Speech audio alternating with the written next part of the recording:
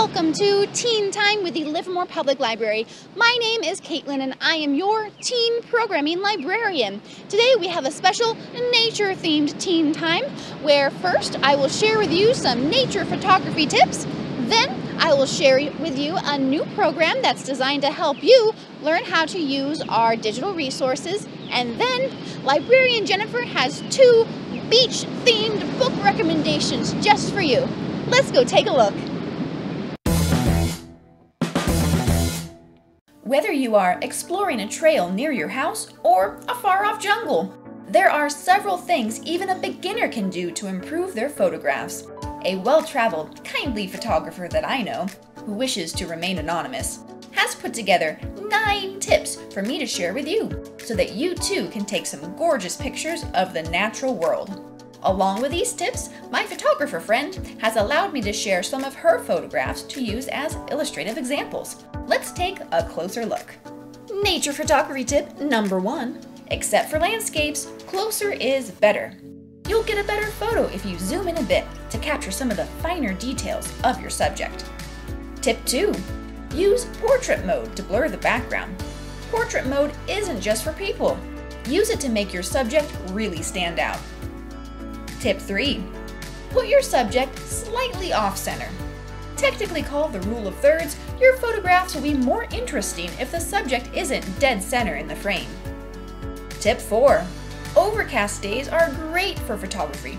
Bright sunlight can leave harsh shadows, so don't worry if it's a little cloudy, it'll be easier to get a good shot. Tip 5. Use your camera's flash.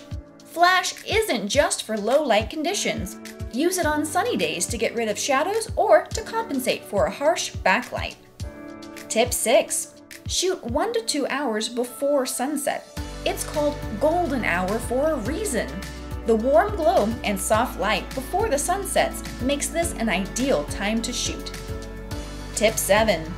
Think outside the box. Look for interesting reflections, textures, or patterns. Extreme close-ups of natural designs can make for some really cool photos. Tip 8. Look for distracting items in a scene. Garbage cans, power lines, cars, or people can distract from the intended subject of your photo. Check and adjust if necessary before you take a picture. And last we have tip 9. Use a fast shutter speed for moving subjects. You don't need a fancy camera to adjust your shutter speed and eliminate the blurring of a subject in motion. Depending on your smartphone's camera app, look for settings called shutter speed, sports mode, or motion mode. Any of these options should allow you to take better pictures of moving targets. So that's it! I hope you're able to use these tips to take some beautiful photographs. Are you on Instagram? Tag us in some of your spectacular shots. We'd love to see what you can do. I'm going to show you how you can make an appointment to have a one-on-one Zoom tutorial on how to use our digital resources. Let's take a look. To make an appointment with a digital library computer tutor, first go to the library's website, www.livermorelibrary.net. Click through the banner near the top of the page until you see the advertisement for this service. Click on the picture to learn more. To make an appointment, you can call the library at 925 373 5505, or you can click on this link to be taken to an online request form. On the request form, fill in your name and email so that a librarian can contact you about arranging for an appointment. Let us know what kind of a device you'll be using. Notice that we do offer help for Apple, Android, and Windows devices. Our digital library computer tutors are librarians who can help you access a variety of different resources that are free with your library card. And they can even give you some tips for navigating Zoom if you need a little help using the app.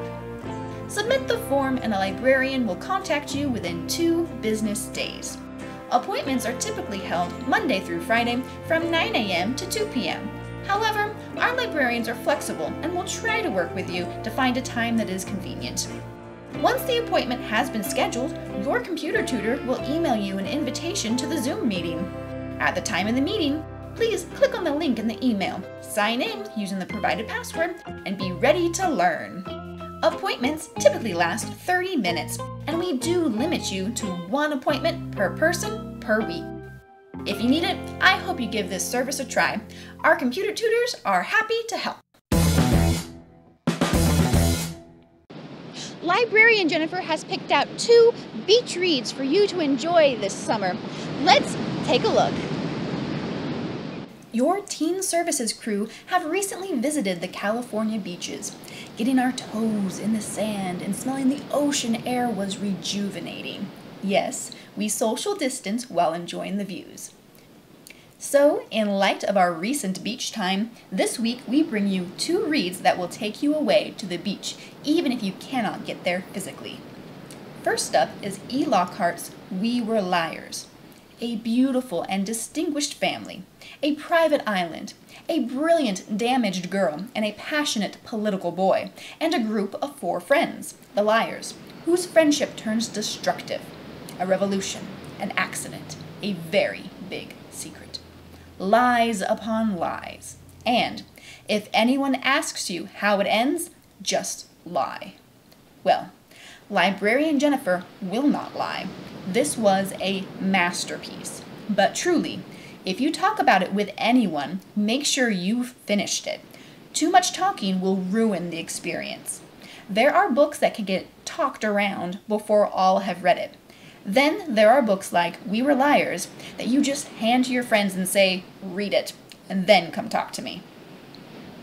Librarian Jennifer read this in a single sitting, and when she finished, she felt like, now that she knew what happened, holy cow, what happened? She needed to pick it back up and read it again, or at least parts of it. Flat out, a masterpiece. If you need something a bit more visual to get into the beach feel, grab the graphic novel This One Summer by the cousins Mariko Tamaki and Jillian Tamaki. It takes the Summer at the Beach House story to a whole new level. Every summer, Rose goes with parents to a lake house. It's their getaway, their refuge. Rosie's friend Wendy is always there too, like the little sister she never had. But this summer is different.